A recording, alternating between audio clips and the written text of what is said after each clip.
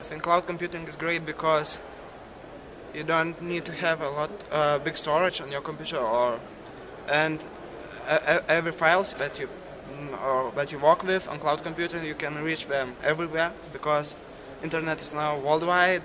You can you can work in place you want and, and that's great I think.